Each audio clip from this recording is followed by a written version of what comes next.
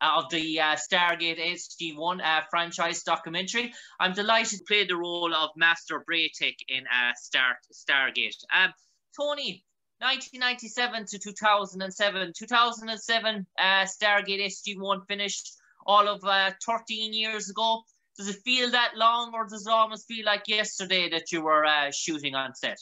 You know, it sort of feels like uh, yesterday uh, sometimes, and then other times it feels like it's ancient history. But um, it's still very present uh, in my, uh, you know, in my feelings and my thoughts, and certainly, you know, because of the fans on Twitter and uh, you know other social media. Um, it's uh, it still seems present. There still seems to be a great hunger for it, and uh, that pleases me so.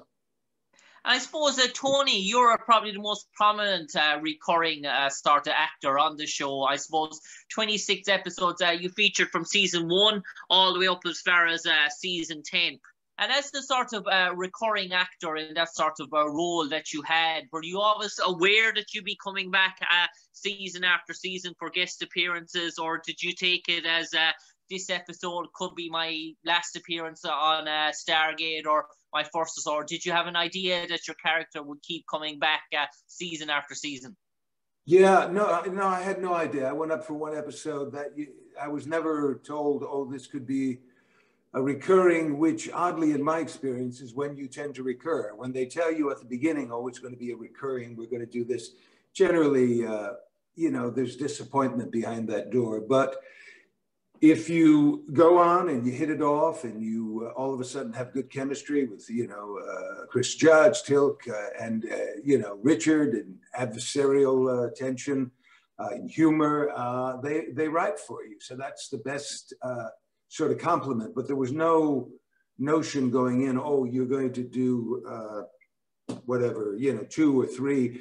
As a matter of fact, if you look at the way it fell, I only did one in the first season. I did two in the second and then all of a sudden I would do two for several years. Then I did three and in one season, and then it sort of just grew. And um, so something very organic about it, and uh, that that was wonderful. And uh, I'm very appreciative uh, to Brad and uh, you know Coop, Cooper, and uh, um, and all the people that. Um, sort of kept writing for me, and, and Chris, for that matter, because Chris wrote several episodes uh, to to um, to sort of uh, explore our storyline, and that was uh, that was wonderful in beautiful Vancouver.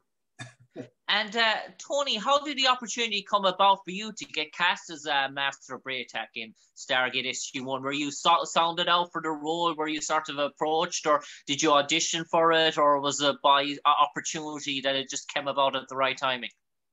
You know, it came about at the right time. I had just finished The Mask of Zorro. I was back in town for hmm, maybe about a week, two weeks, and it fell. I got the audition. I remember specifically, I got the audition just before 4th of July. So everything closes down in the States for a couple of days. And it gave me the time to work on it. And uh, I, I worked very hard on it, not only because it was a very fun, interesting role, but because it was being shot in, uh, in Vancouver which is uh, one of my favorite cities. And uh, so initially it was, you know, the big thing was, hey, I got work. Hey, it's in Vancouver.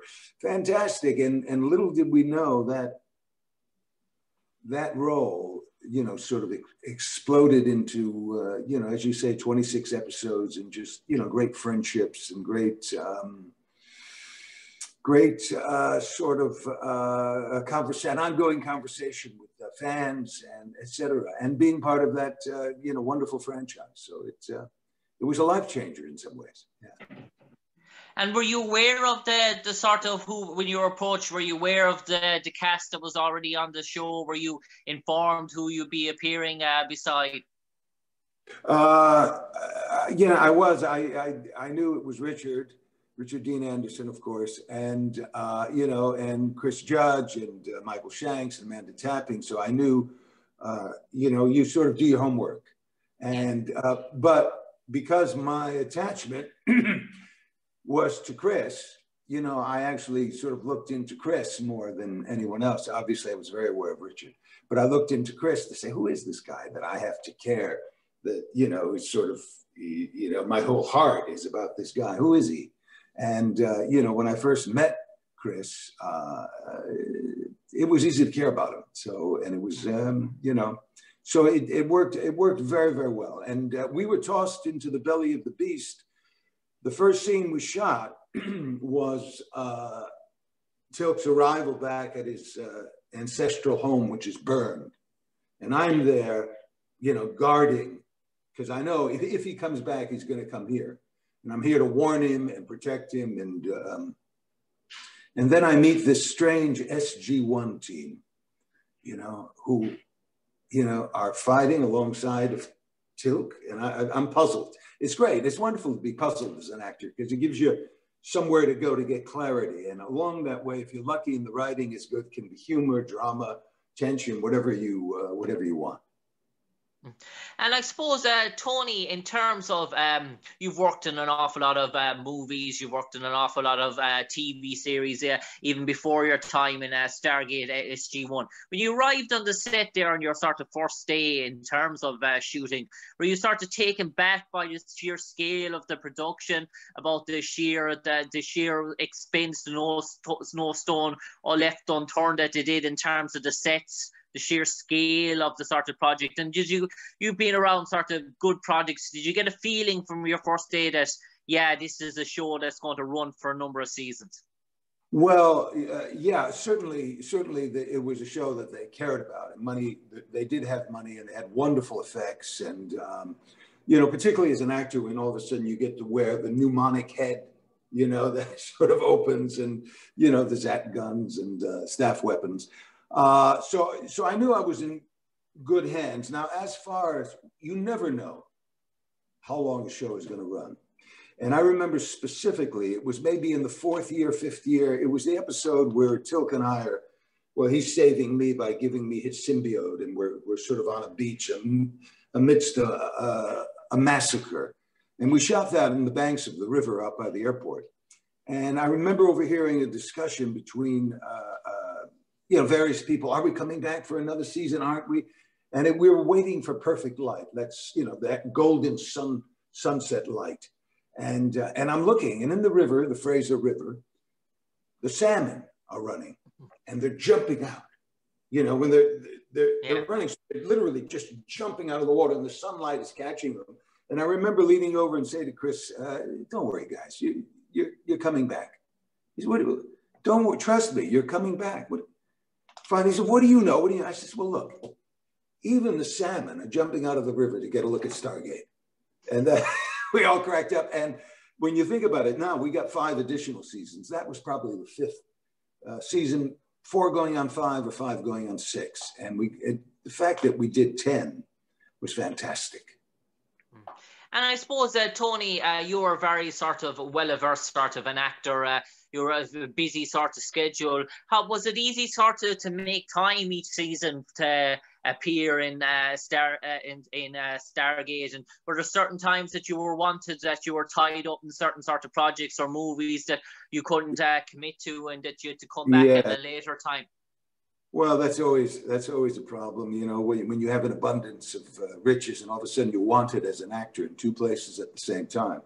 Uh, it's a good problem to have, but it's a bit of a heartbreak sometimes because you can't um, do it. It always worked out with Stargate. I was in a, another series called Once Upon a Time, and I missed several episodes because I was doing other things.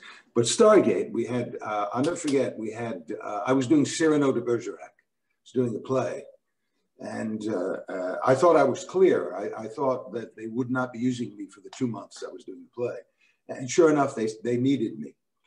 And I remember I called uh, Brad and uh, spoke, and you know, there's anything possible, anything to do. And God bless him, they changed the schedule around. So they shot me on Mondays and Tuesdays during consecutive weeks because the play was Wednesday through Sunday. I, so I would fly up, you know, very late at night on a Sunday to Seattle. There wasn't a plane to Canada. A driver would pick me up I'd get to my hotel probably three in the morning. I'd get up at seven and do do that day. But it was so wonderful and so kind of them to um, to rearrange that. So it has happened, and sometimes you just have to let it go. But uh, luckily with Stargate, I did not miss an episode where they wanted me. Hmm. And uh, Tony, in terms of uh, Stargate, I suppose it has a global fan base all over the world, from Brazil to Argentina, South Africa, Germany, England, Ireland, um, so on, so on. And uh, when did you start to realize on set that wow, this thing is truly global? Was it season three or season four that you got a sort of a sense of the how far Stargate had spread across uh, the planet, as the saying goes? Well, I, you know, I remember specifically. I. Um you know, I used to, I live in Los Angeles, but I used to fly back uh, east to visit my family with my wife on uh, Thanksgiving. In one of those cases, we rented a car and it was raining. We got in the car and we drove to our destination. When I got out, I saw there was a dent in the car, hmm. in the door, quite a, and I'm thinking, okay, now I drove from the parking lot to my home. So I knew that it was nothing I had done. I hadn't parked. Yeah so I'm thinking, okay, we'll deal with it. So I go back return the car. And as I'm returning the car, I go to explain, I'm just about ready to explain uh, about this uh, dent. And the guy says, wait a minute, you're the attendant, you're in Stargate, right? I said, yeah, yeah, yeah, I am. He said, oh, oh, and he said, it's the only thing my father-in-law and I agree upon. It's the only thing. It's the only thing. And I, you know, is there, could you take a photo? I said, sure, I'd be happy to take a photo with you. And then I explained to him about this dent that I said it wasn't me. Oh, don't you worry about that. He said, don't worry about that. And then I realized Stargate was, was a popular show. Uh, yeah, yeah, yeah. Well, you know, what a gift, because you're right, it's all over. Um, you know, I've been lucky because I've, uh, you know, between Stargate, uh, Once Upon a Time, Dexter, uh, it's always interesting. Sometimes I can see a, a glimmer in people's eyes. And uh, the game I play in my mind is what show are they a fan of?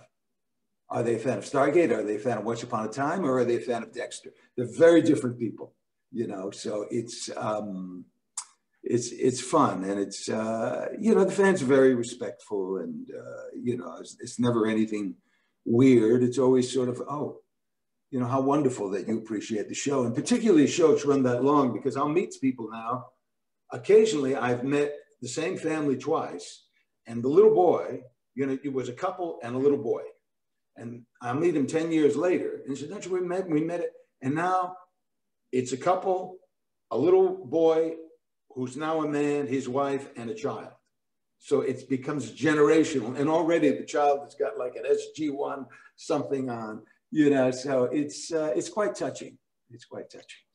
And I suppose, uh, Tony, we saw an evolution in terms of your character throughout the sort of uh, 10 seasons in terms of having to deal with sort of uh, different enemies the whole sort of time. He had to sort of involve uh, from what he sort of knew uh, as, as one thing or one existence to different sort of existence. And uh, it, sort of as an actor, do you like that sort of evolution each year on year on and uh, seeing a different scope or different horizons in terms of having your character having his beliefs uh, questioned the whole time? Yeah, I, yeah, I like that very much because it has to evolve. You know, I always think that he went from a warrior, a rebel warrior, to a statesman. Hmm. It's sort of like you know, uh, you know, the Revolutionary Warrior or something, or or you know, for lack of a better, it's like Colin Powell you know, who was a, you know, major sort of general, a major, and then all of a sudden takes on a more diplomatic statesman role. And all of a sudden I don't have my, uh, my Jaffa cap anymore. And, uh, and it was, it was interesting that all, and it's a little bit like passing the mantle to Chris. You know, by the end of the series, Chris is what I was at the beginning of the series in a kind of way. Yeah. So it's, uh, yeah, it's great it's really, really wonderful to. Uh, and Tony, what was it like in terms of um, wardrobe for you on uh, set arriving in? Uh, in terms of your costume, in terms of getting ready? Was it an early sort of morning for you in terms of uh, shooting, uh, in terms of getting all the sort of to make yourself look like uh, that Jaffa warrior? Was it almost like wearing a sort of uh, a knight's armor or what knights sort of wear in terms of was it comfortable to maneuver around in? Yeah, it's, you know, I won't say it was comfortable, but I will say, uh, as an actor, I, I don't mind discomfort if it serves the character. Hmm. discomfort for the sake of discomfort, and you think you don't even know what you're wearing, why you're wearing it. That's another thing. But I was very, very clear, and it gave me, it, it, it helped me mentally to get into the character. It was like, as you say, it was like a medieval knight, Roman stoic warrior samurai. You know, it had it had um, it had a bunch of different uh, elements, and I remember uh, uh, when it was being created, um, the uh, designer it was it was sort of a uh, what makes you what does it make you feel like? What is it? What does it do? And, and it was sort of her name was Christine, uh, and she was wonderful because you go in, you do an audition, you get the job, and but you you still are sort of a little bit on edge. You don't know what you're wearing, you don't know what it feels like, you don't know about the cap, you know. And so to finally get it worked out, and I knew on some level, getting back to an earlier question, I knew that I would be used more regularly when they sent me for a, uh, a custom fitting for my hat, okay. for my little skull cap. They sent me for a custom fitting, and so it was molded to my head. Uh, so that meant, you know, that they would I, they would be seeing me again. But of course, then they lost that, and I had to to do it anyway. Uh, but eventually, I wasn't wearing one. But yeah, what you wear is very important. And following that um, thought of initially the warrior, this, this, sort of rogue samurai, because he is a rogue. I mean, Apophis is the head of everything. And if you look at what he wears then, and even if you look at the colors, they're gray, they're dark. And then all of a sudden, when he becomes a statesman, he's into warmer colors. Uh, you know, that's all conscious. That's not that's not an accident. That's that's the work the wonderful wardrobe designers do. Uh, and if you pay attention as an actor, you you'll get hints of uh, of where the character is going uh, by the subtle changes in clothes. Uh, one thing that struck me, uh, Tony, from uh, doing my research and uh, watching uh, sort of Stargate seasons is that there always I always felt there was an opportunity maybe for a sort of a movie in terms of just the Jaffa nation and the Goa'uld and how that originated and how it came about and the, the whole sort of independence for the Jaffa nation and the, the sort of war and the, their sort of history and it is probably something that could have been very sort of successful. Do you think there was ever any thoughts of doing anything about that? Just looking at that sort of particular aspect of Stargate as probably a spin-off or a one-off sort of movie or something? Yeah, I think there was talk. You know, they they did several, uh, as you know, they did several mo- cable movies, uh, and there was talk of doing more. And then, you know, it just sort of got away. And uh, you know, every so often you hear rumors that it's, uh, you know, it, it's going to be in the works. It might come back. In in what form? I have no idea. I don't know if I will be involved or if any of them will be involved. Uh, but uh, it is sort of ripe to be continued, and there is a lot to explore. I mean, that was a great thing. It was sort of, you know, uh, one of the, it was contemporary sci-fi, hmm. wasn't futuristic, uh, uh, and yet they found ways through the creation of the the antagonists to deal with, you know, contemporary issues like, you know, the Ori and and stuff. Um, so it was very very clever, and, and uh, you know, Brad and uh, Robert Cooper, uh, they um, they really did a wonderful, wonderful job, and the other writers, of course, were fantastic. You know, um, so I had a wonderful time. It was uh, it was a real gift, and uh, you know, I thank them, and I I thank the fans, and uh, it's uh, one of the highlights. And I suppose, uh, Tony, um, in terms of the latter seasons of um, Stargate SG-1, we saw a sort of changing of the guard and certain uh, certain cast members. I suppose Richard uh, Dean Anderson sort of moved into the sort of producing sort of role. We did character Cameron Mitchell was uh, created. Obviously, Don Davis um, God forbid, and then Beau Bridges stepped into that sort of role and be the news. So the, the SG1 sort of cast sort of re- revolved in terms of a new sort of format. Obviously, Christopher Judge sort of remained uh, on throughout of all. But how was that sort of coming back as a recurring actor uh, this time to work with sort of different sort of uh, cast members? Did it feel a bit different or just felt like the same sort of process the whole time?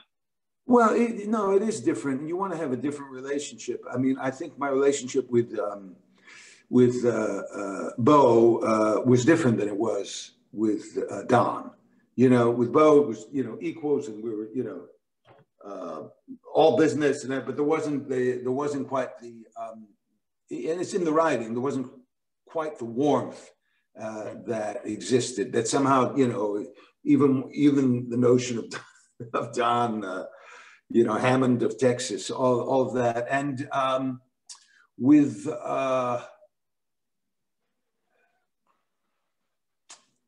with Richard and Cameron, I mean, it, that was very different too because it, I thought, oh, here's another hot dog.